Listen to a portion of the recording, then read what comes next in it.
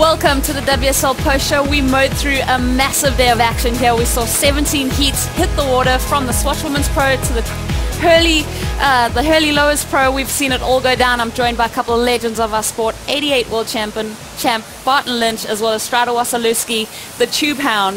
it's good to have you boys on the desk. Oh, oh we love the barrel. But man, the action today was out of control. The liquid skate park lit up and it was fun to watch. And there was all sorts of stuff going down: interferences, crazy airs, high heat scores, waves with heats with barely any waves. It was a, a mixed day of amazing action. Yeah, talking about barely any waves, that last heat was definitely one of those ones where Mother Nature just decided to elude the boys. And right now we do have the winner of that last heat on hand with our own Peter Mel. Take it away, Pete. Thanks, Rosie. Stuart, really scrappy heat. I mean, you had mentioned how consistent that heat was before yours, so you had an inclination that it was going to be kind of slow.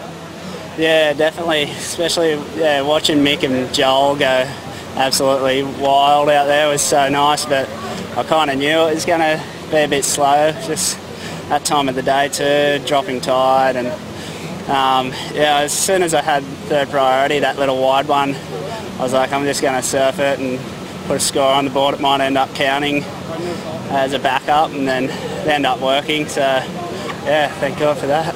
Well, at the end of the heat too, he knows that how important that second score was too. Had priority, utilized it well. Um, you know, how did you defend that kind of at the end? Um, yeah, I kind of knew I was in a good position because it was so close to the end. And I wasn't really going to let up another opportunity and um, I just had to surf it to, to my ability and probably could have went a little bit harder, but didn't really need to. So, yeah, I'm just excited to win my first three-man heat this year. Well, so are we. Congratulations, Stewie, into round three. Thank you, Peter Wolf. We've seen some amazing action today, and one of the heats that hit the water, we got to see Gabriel Medina. You know, he's world number three coming into this event, and what we love about this part, part of the year is it just starts to heat up. You see everyone kind of throwing everything but the kitchen sink at every heat that they're in, Barton. Heat up, all right. He just took it to it. Here's that interference right here. Didn't back down. It was more of a left. You can see the line in that one. Hey, Strider. Yeah, you know what? To me, it's a 50-50 flip right there. There was, you know, it's a peak, and they gave him the interference. But reality is, he fought back. He came strong, and he surfed really well through that heat and it was it was a great heat to be a part of for the other surfers because they had the opportunity to take down the former world champ, but not to be done. Melling and and the other opponent just fell out of it, didn't have anything higher than a five, and Medina went to town. Well, talk about overcoming adversity. I mean, what's it like, Barton? You're sitting out in the lineup, you hear that you have a triangle and interference against your name. How do you come back and fight back and get the win? Well, I suppose the pressure's off at that point because no one else expects you to win, and it's only you've got everything to gain. This is the wave, got the eight, halved it to a four, and got through this last turn spectacular.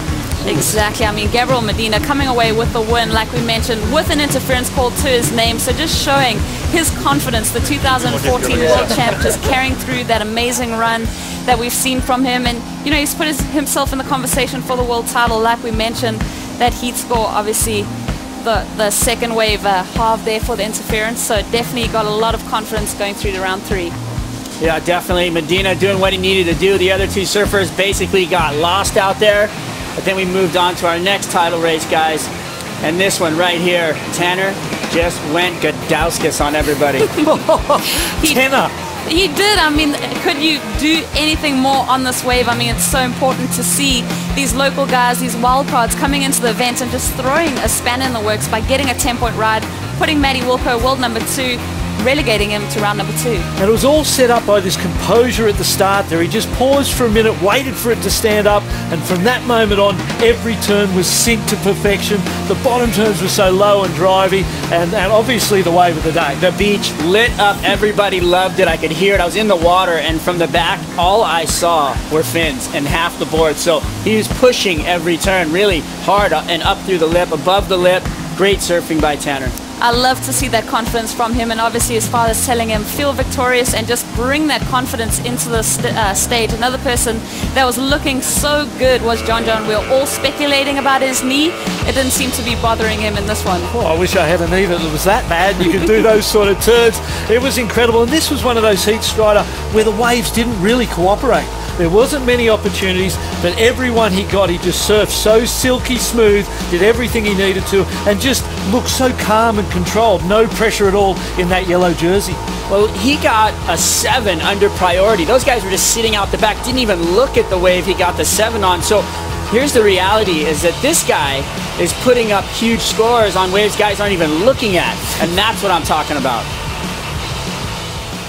I'm not injured. I was just joking. No, it's um, it's feeling great, 100%. And I, you know, I just been surfed the last couple days. I just came straight to California after Tahiti and just got it, just started doing therapy and stuff for it right away. And I think that helped out a lot in getting the healing really fast. And so I'm just so stoked to be surfing. It was just a minor tweak to the MCL. And so, but all good now. Doctors gave me the okay to go surf and stuff, so that was good. And it was just on my last wave in the final in Tahiti, it just like crunched me down. And I've never had a little knee injury before, so I didn't know how bad it was at first. And um, pretty fortunate it wasn't bad at all. Well, I mean, looking at our, our leaderboard there, John John Florence on top. This is the first time in his career that he's coming into the event with a with a lead like this. So, you know, what kind of comfort comfort level would he be feeling coming into this event? I suppose it could go either way, couldn't it? And that's what was exciting about today to see exactly how he responded, and he responded better than you could have imagined. Well, yeah, and the wheels came off for Wilko. Gabriel a little bit sloppy, but kept it together. But the most informed guy so far was John John Florence, and he looked really comfortable in that jersey. And hats off to him. You know, coming off an injury, looked really powerful. Still had dynamic, you know, above the lip turns where he threw the reverse in. So I love to see that. I didn't put him on my fantasy team. Shame on me. Well, we can't help but really reflect on our top three. Obviously, at the disadvantage right now is Matty Wilko in that round number two. So how much pressure is on his shoulders at the moment? Oh, it's enormous. And it seems like he's putting it on himself too. He's never been in this position, so doesn't have the tools or the experience to deal with it. He's up against Brett Simpson tomorrow in, in, in that first heat of the next round, and uh, that's going to be the interesting one. Yeah. We saw him crumble at J Bay with that fall. Today he did look really nervous, so it's a tough ask, a big, a big hill to climb and handle that pressure. You've definitely got to be bringing your A game, and a couple people that brought the A game was Filipe Toledo. He was up against Kelly Slater. We'll reflect on that and the women's round number two that hit the water. Don't go anywhere. We'll be back with more WSL Post Show.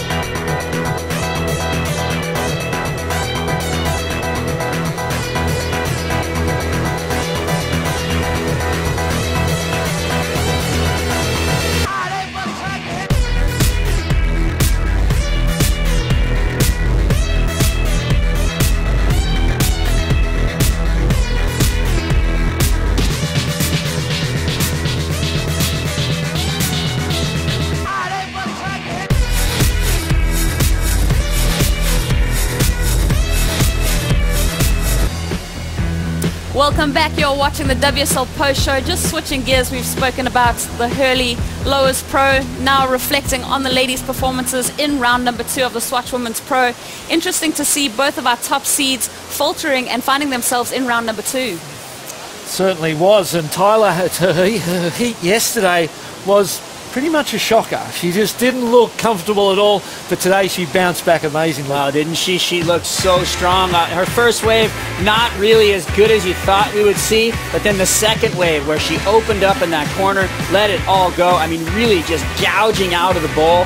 You know, she did a, a, great job transferring on this wave. This was her first wave to get to the inside corner, but didn't finish well. No. But the second wave, let me tell you, she went bananas, Barton. She found a groove on that second one. That first one was really uncomfortable, but the second one, big turns, blows the tail there. Watch this carve, just rails it, just snaps back into the pocket. Amazing surfing. And this one, this was the one that showed us why she was in that Jeep leader jersey and uh, why she's the leader for the world title this year.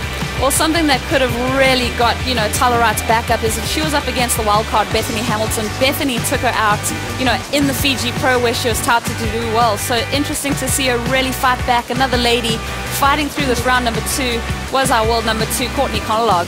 Yeah, Courtney, she's just strong. You can see it in her stature on the beach. She gets in the water, very confident and straightforward with her surfing. Not out of control crazy with technical stuff, but definitely just looking beautiful fundamentals down the line, beautiful open face, staying on that blue face, carving down into the bowl. We love to see that from the beach. The judges love it. And she did get a little jiggy with it off the end of some of her waves. She was throwing down some, some reverses, which I do love that she's got those maneuvers in her bag. Yeah, we did actually catch up with these ladies to find out about their form. Let's hear from both of them, Tyler Wright and Courtney Conlogue. Yeah, I, I kind of um, heard it last night and it went a little bit weird. And so I haven't actually got a diagnosis yet. We just kind of strapped it up uh, this morning and went for a, caught a few waves early. And um, but yeah, pretty much just cat two waves is all I really needed out there, and just kind of minimalizing um, like the excess of you know what I really don't need to do. And but it, it feels good when I'm on the wave. It just kind of yeah, I have no idea, but it, it kind of hurts a little bit, so it's alright. Maybe my strategy's been a bit off, and yesterday I was waiting for sets, and it just went flat. And even today I was like waiting for the sets or in Tyler's heat, and then ended up not coming until the end. And I think in that last heat I definitely pivoted the strategy a little bit. There was like 15 minutes. It was probably a little long to wait, but I was like, you know, this is round two. I don't want to lose out in this round get 13th. And um, I know there's going to be waves, and I always come in and get a five on the inside. It's just like deciding that strategy, and I was feeling great out there. I was just wanting to get on the best opportunities. Well, these athletes are just so incredible at adapting. I mean, talk about carrying an injury and just being able to pretty much strap it up and fight through the pain. I mean, Barton, that just shows the mental attitude coming into these events. And both these guys are, like, we know Courtney is just such a strong trainer, isn't she? She's right into it. She's an athlete. She's not just a surfer, she's an athlete, and she's got that, that overall package and it gives her that positivity. I suppose for Courtney, it's just dealing with her expectation and her desire. And uh, you heard her talking about the result and not wanting a 13th. That stuff gets in your head and makes the whole thing a lot harder. Yeah, you could crumble with the cookie, but she didn't. She just uh, ate it all up and took it into stride, and she made it through that heat. Uh, and she's got a great mental capacity, and, and for her, that's got to be her strong point. She's buckled before. The mm. cookie has crumbled, and she hasn't picked up the pieces, and she's doing a much better job of holding it together now, and I like to see it. Talking about holding it together, Kelly Slater was one of those performers in Tahiti that just ran away with it. Now we really put our focus on him here at Lowers. He's won six times before. Up against Phil Toledo, it was a heavy ask. It certainly was, and, and, and he hadn't warmed up. We hadn't seen him around, but he came out very first wave and was firing. Filipe, though, a lot of talk about him not being powerful. I don't get it, mate. He is so powerful, so strong. He's a, you know, he's a dynamo for the size of his body. Beautiful carve there, Strider. Yeah, he is the guy to beat in this size surf. Hands down, no question about it, the best small wave surfer in the world. Kelly Slater, you might not have seen him warming up out here at Lowers, but he went to a wave a lot like Lowers just this last week where he went out and found himself a perfect warm-up platform. So he was definitely ready. As you can see when he gets out here, he's won here so many times. You know he's comfortable here. To see him go out and surf this good and comfortable, he's stuck to his game plan, stayed on the face, and would have won this heat had he picked the right wave. In the end of that heat, he gave up this wave right here. He took the first small wave, leaving Jeremy and Phil out the back.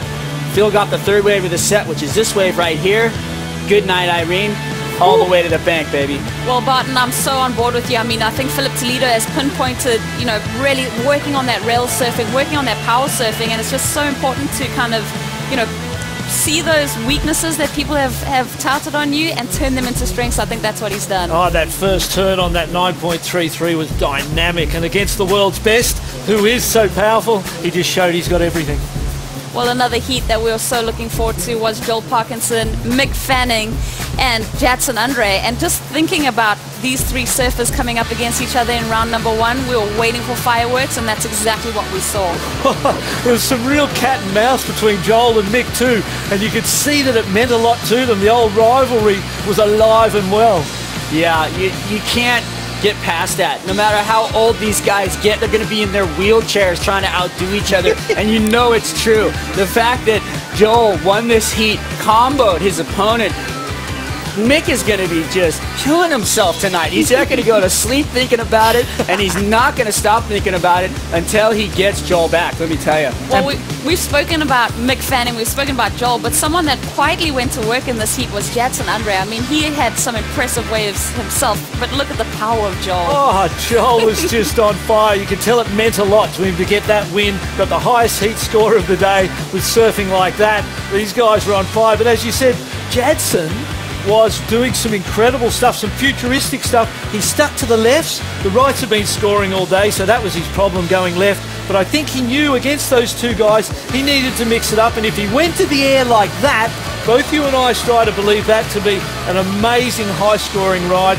He got to the inside, ripped it all the way, um, but the judges didn't quite reward it like we thought it may have been. Well, I feel like he got overlooked, and only because he was up against the two smoothest surfers in the world. Yeah. He was just a little choppy, and if he would have had the linkage that the other two surfers had, he would have won that heat because he went mad above the lip. The technical surfing that he did was outrageous, and I love to see it, Jaddy. Keep it up. Next round, you're going to make it through. Well, he's going to be stoked with that and taking that confidence through such a high-scoring heat. And obviously, we saw, like we mentioned, round two of the Swatch Women's Pro, 11 heats of round one of the Hurley Lowers Pro. So much more to look forward to. We do have highlights from today, so stick around and watch that. And also check in at 7.30 tomorrow morning for the WSL Dawn Patrol. We'll be back.